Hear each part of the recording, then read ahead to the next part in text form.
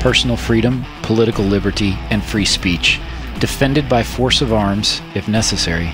Welcome to the Resistance Library from ammo.com, where we believe that arming our fellow Americans, both physically and philosophically, helps them fulfill our founding fathers' intent with the Second Amendment to serve as a check on state power.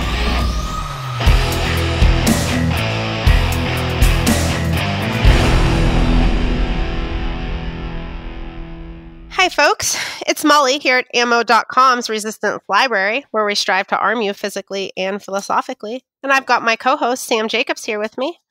Uh, today, we're going to talk to you about a man dear to my own heart, Elmer Keith.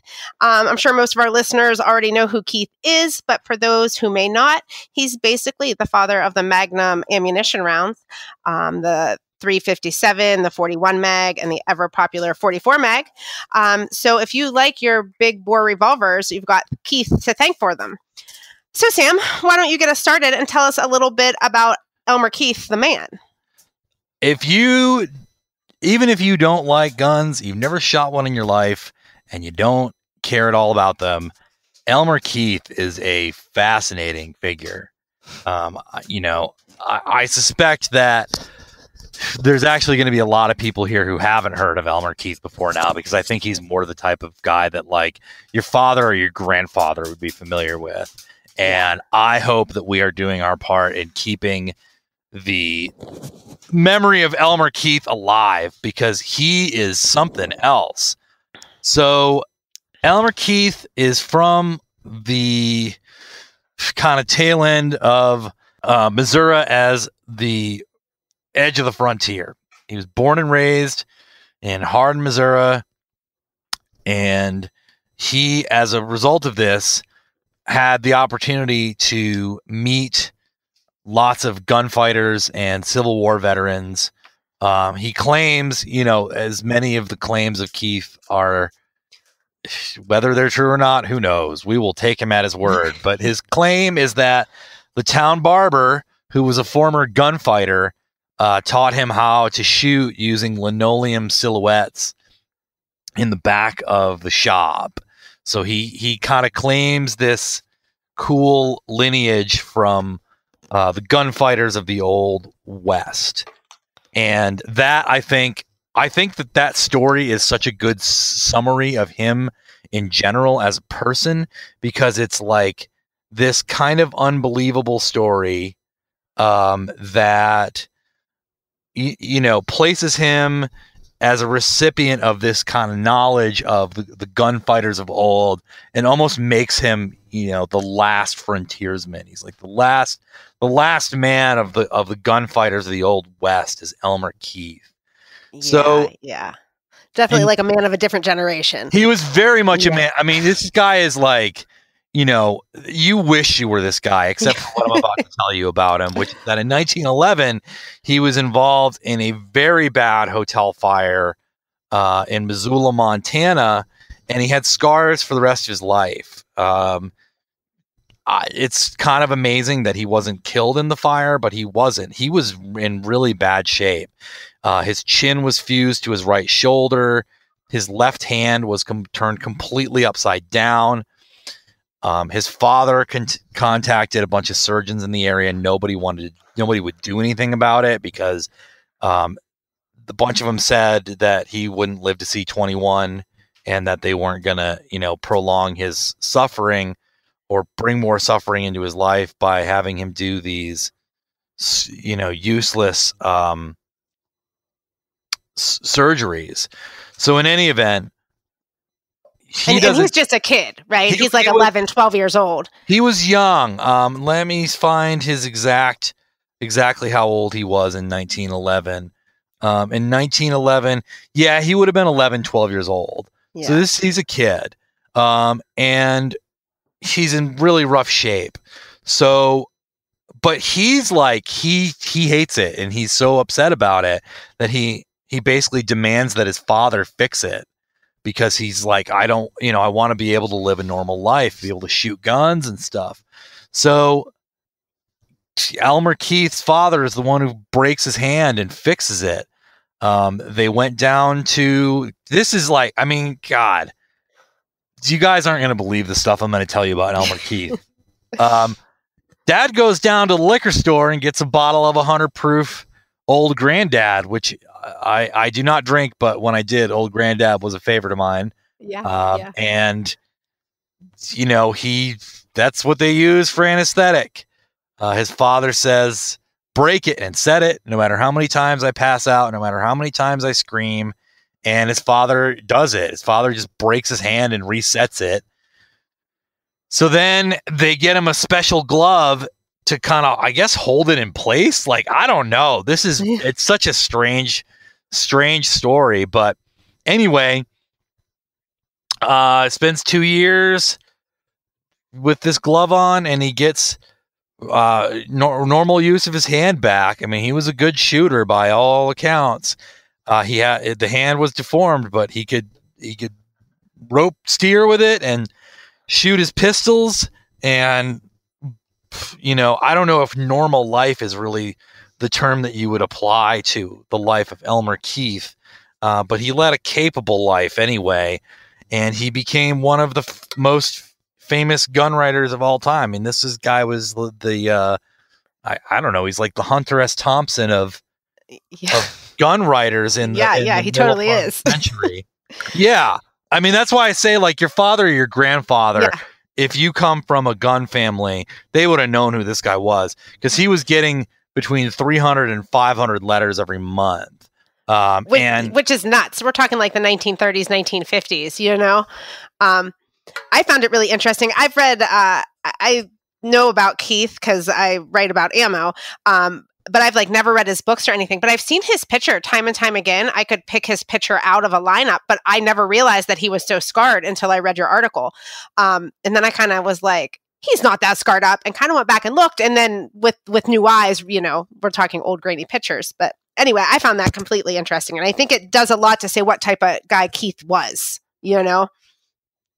right, I mean, yeah, it's it's. eh, eh, you know, the, there's a pretty low percentage of this story that has to be actually true for it to be impressive. yeah. you know i mean that's i think that but i think that's kind of one of the coolest things about him is that he is mythic you know and we don't really get mythic figures anymore and that is another way in which he kind of continues the spirit of the old west is that everything about him sounds like a tall tale um Yes.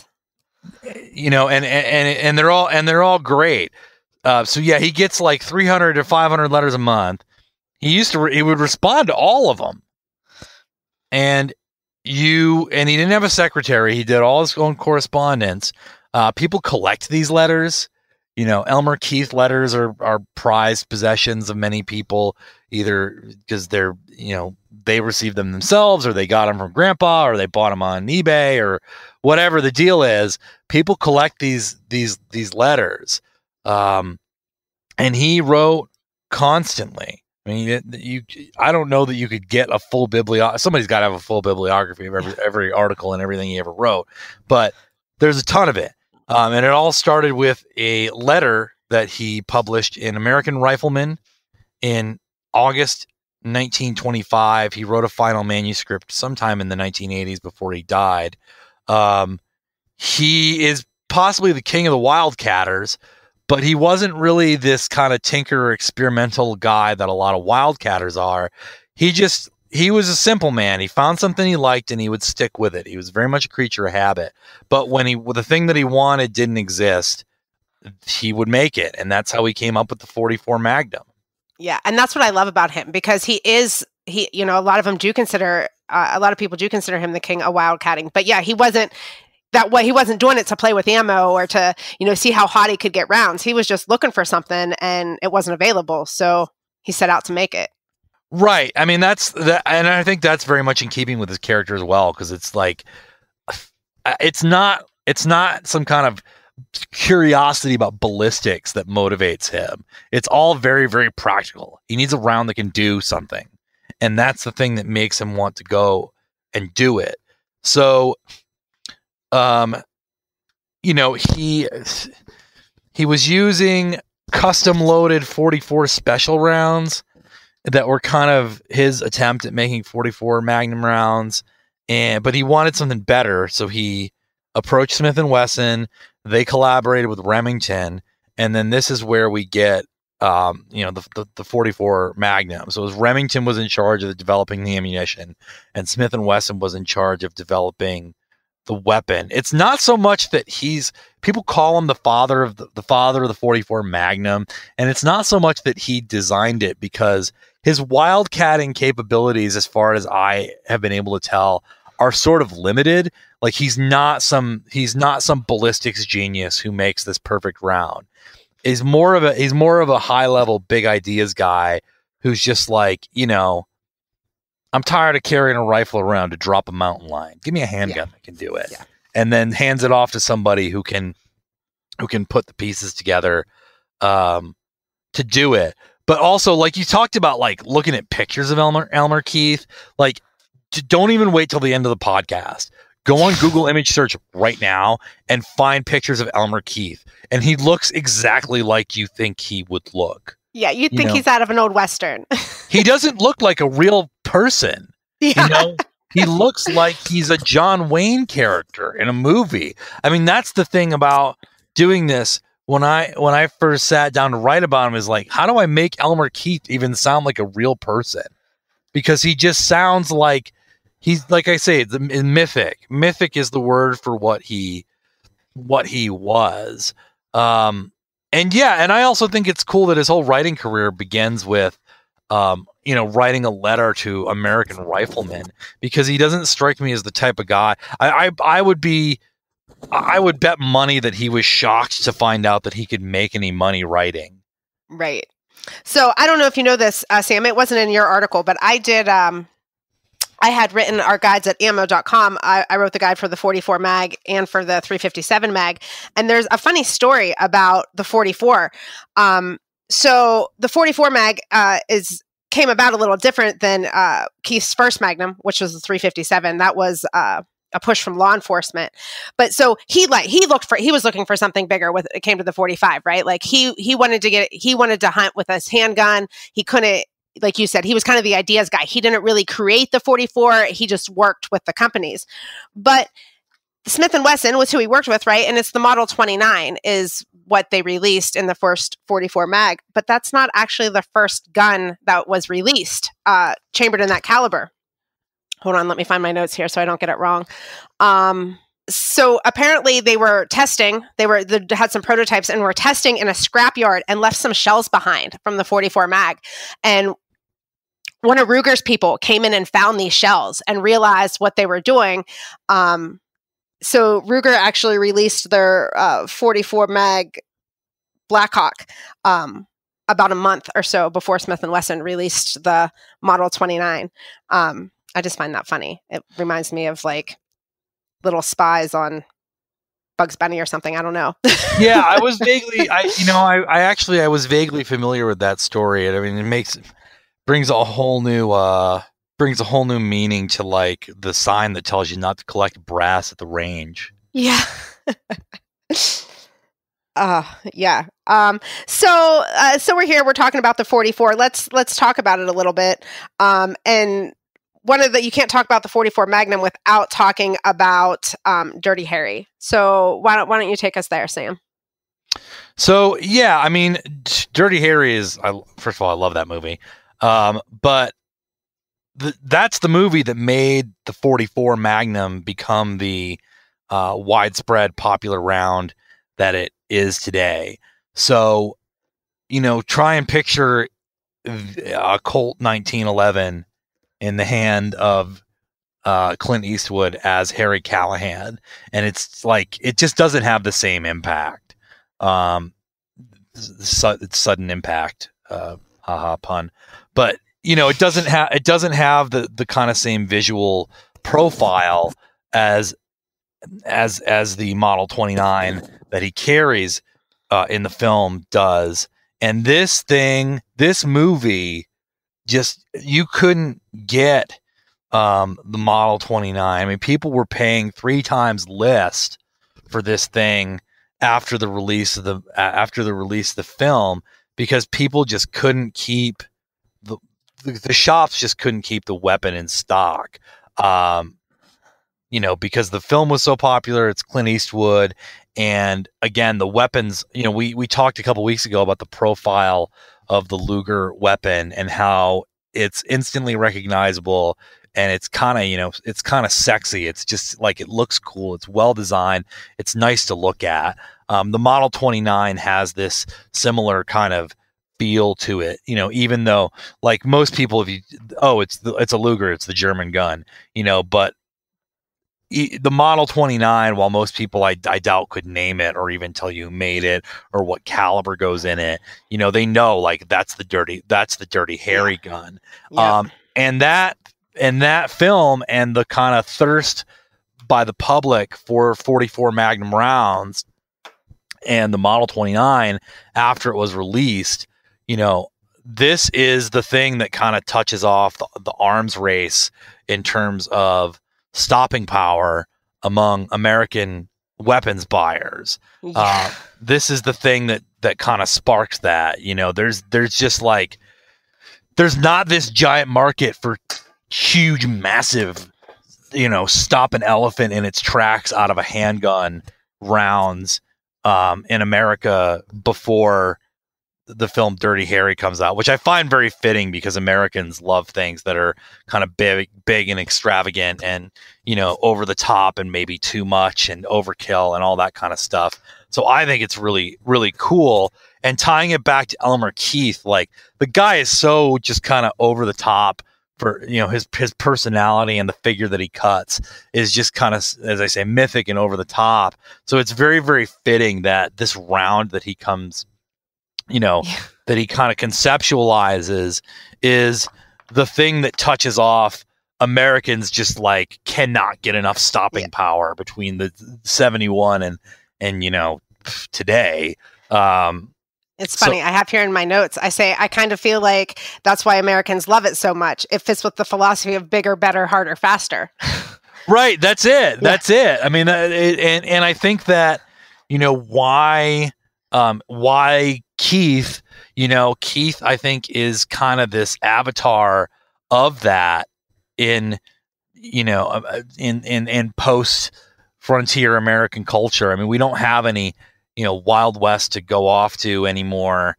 Uh, there's no wilderness to conquer, but you know, Keith kind of is encapsulates that expansive and um, I don't like you know that kind of like s- s- striving and conquering um, aspect of American culture, but he just boils it all down into this into this Magnum 44 round um, that is you know if there's if there's any round that's kind of you know the Levi Coca Cola Harley Davidson you know this thing that in in addition to being an extremely popular product, is just a very um, clear and succinct encapsulation of of American culture, uh, of what American consumers want, broadly speaking.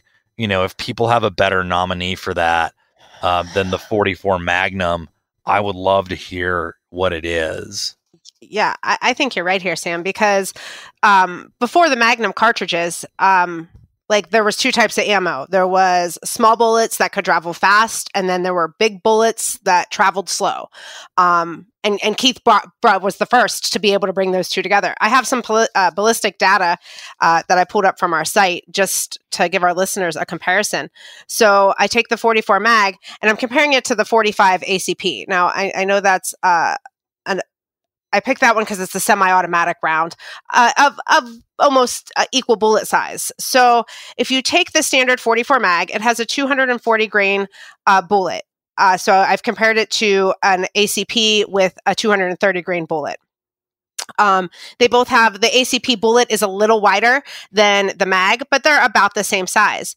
Uh, but yeah, so the difference in the strength, the Magnum velocity reaches 1,350 feet per second. The 45 gets to 835. So we're talking a huge difference there. And when it comes to muzzle energy, the Magnum's punching power is nearly uh, a thousand foot pound force at 971, and the 45 auto is only at 356. So this was a type of power um, a lot of American gun owners hadn't really seen before. Right, and again, like it, tou you know, it touches off this whole, you know, The it's almost movement. right, right, and it's like it's like in you know the, uh it, and it also kind of comes comes around at the right time because it's also like emission standards come around at this time, and so people can't, you know, buy a Camaro like they used to be able to. So I think that there's something to be said for the kind of energy that existed in the auto industry up till the advent of um, emission standards, in some sense, being kind of transferred over to the world of firearms. I mean, obviously, firearms are not you know as widespread of a interest or American obsession as the as the automobile, um, but it's not kind of coincidental to me that this this absolute thirst for greater power on you know to, to the to the absolute nth degree i think is the other thing about it too is it's not like it becomes decoupled from we need the weapon to do x y and z and simply becomes we want more Right. Right. Um, I want to go back to uh, the Model 29 a little bit. Uh, maybe not specifically the Model 29, but it's a big old cowboy wheel gun, right? Um, I, I had this interesting fact that when you, so when it was released, uh, it was a six shot cylinder. And the barrel lengths came between four and 10 inches. But when you fully loaded that, if you had the full size weapon and you fully loaded it, it weighed three pounds.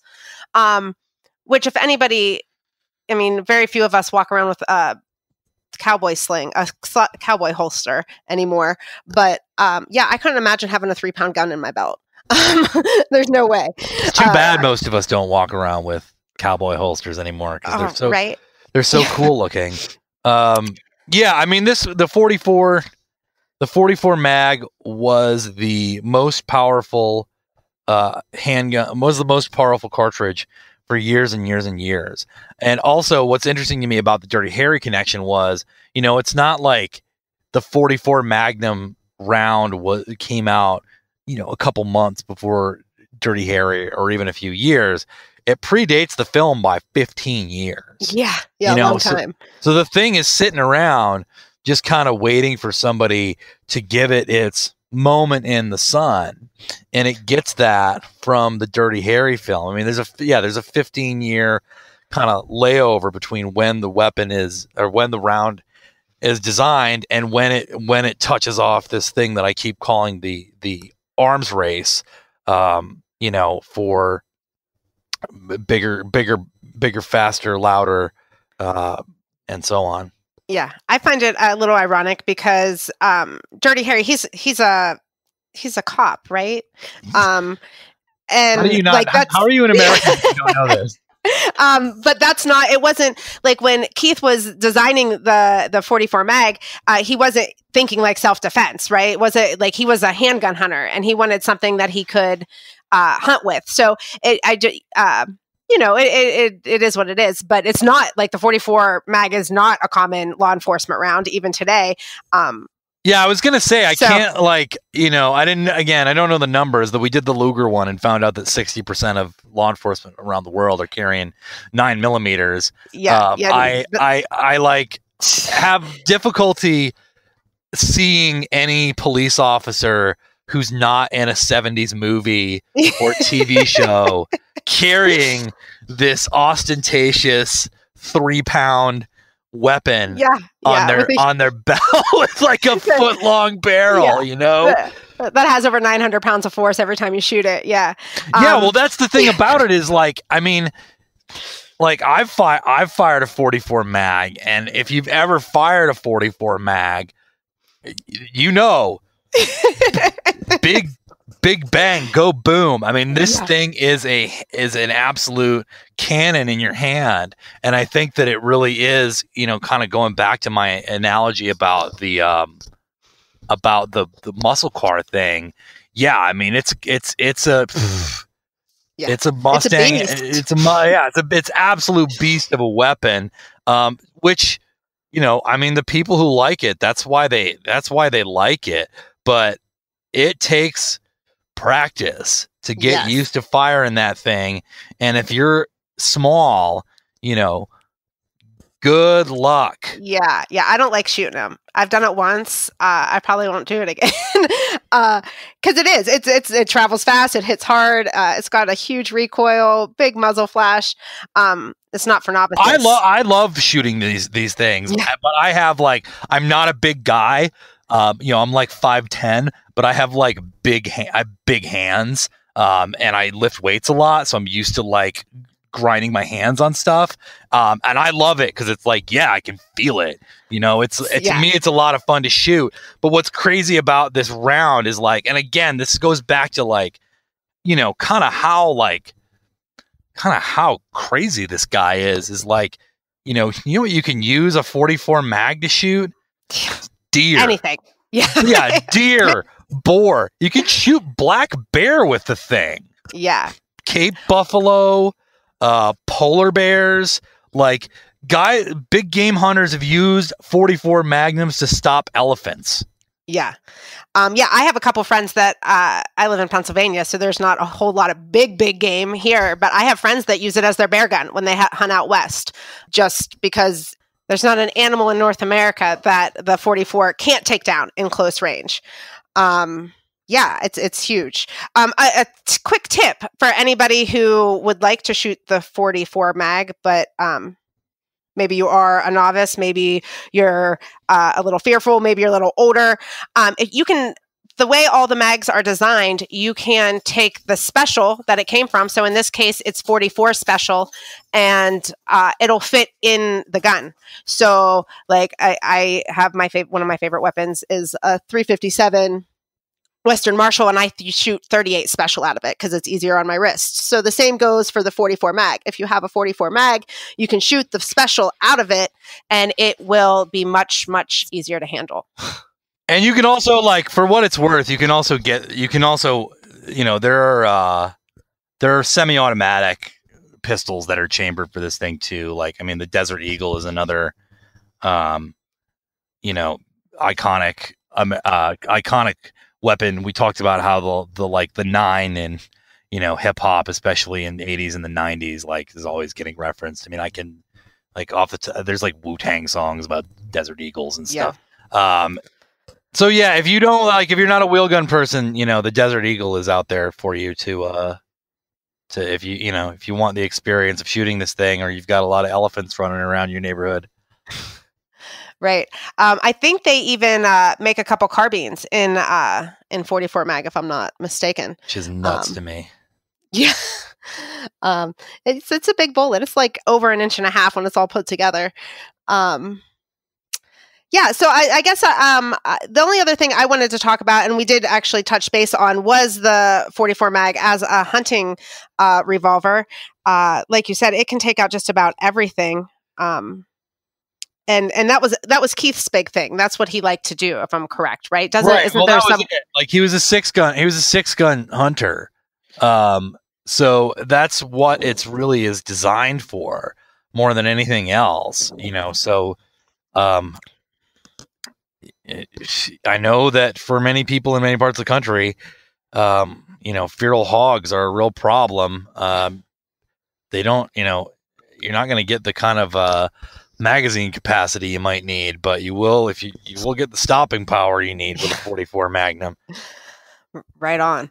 Um, and uh, did I see some? I didn't write this one down, so I might be wrong. But did I see some quote in your article about Keith like shooting a mule deer at some kind of crazy distance with with one of these handguns? Yeah, so he um he could drop a mule deer at I guess 600 yards. That just seems nuts to me.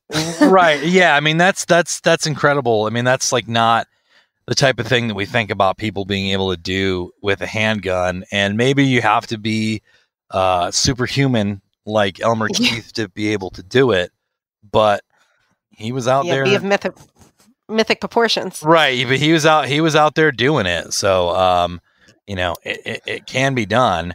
Um, he and he just he didn't like.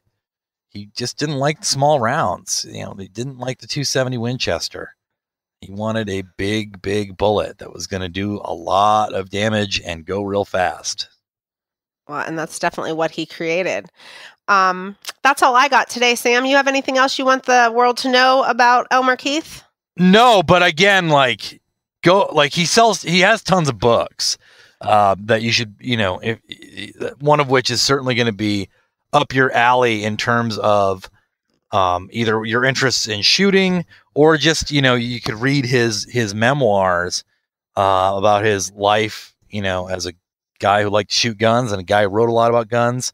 Um, but you know the pictures of this guy are just like unreal i mean you just can't believe he was a real person Yeah, he looks. It's like a caricature, right almost. You know, you think it's somebody dressing up. but he's so cool like i don't like i don't think we're ever gonna i don't think we're ever gonna talk about anybody as cool as elmer keith ever again Yeah, I don't know. I don't think. I'm thinking even like some of the bios I've written for for our site, like nobody is this um the only one that comes close to me is Davy Crockett, right? And that's just Right. because again, he's like an American legend. Um yeah, so uh I'm definitely uh you had listed a book and I saw he wrote a memoir or an autobiography. So both of those books went on my reading list for the year for sure.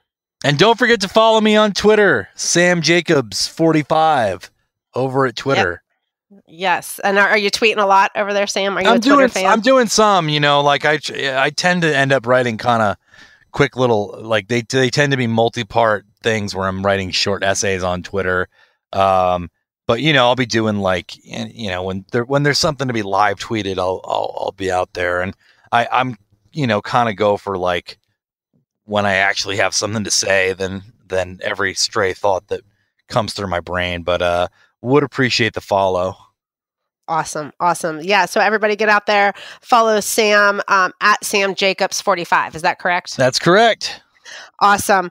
All right, Sam. Well, that's a wrap. Thank you very much for sharing your knowledge about Keith and his big bore legacy with me and our listeners today. Um, thank you, dear listeners, for tuning in. Uh, to show our gratitude, we've got a special deal for you on ammunition. You can check that out at ammo.com backslash podcast. And while you're there on our site, be sure to head over to the Resistance, Resistance Library and check out Sam's piece on Elmer Keith. I will throw a link for both of those in the podcast description. So until next time, folks, in the memory of Elmer Keith, go big or go home.